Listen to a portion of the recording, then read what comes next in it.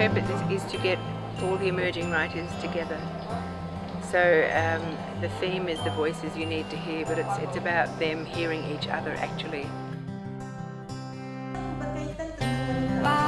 Sebagai pembuat film, uh, yang paling penting dari sebuah film adalah naskah, skrip, dan artinya yang paling penting adalah si penulis naskah itu. Jadi ya bagus lah ada acara Bali Emerging Writers Festival. Semoga nanti ada new writers yang bisa ikut mensupport industri ini.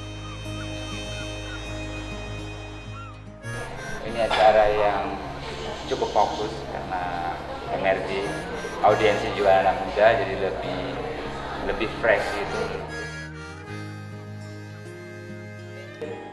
Belum ber Kita tulis cerita yang takkan kita lupa Bersama di bawah langit senja di mana Kita nyatakan saja pada mereka lewat sebuah lagu Asmara kau dan aku di bumi yang indah di katulistiwa. Uh.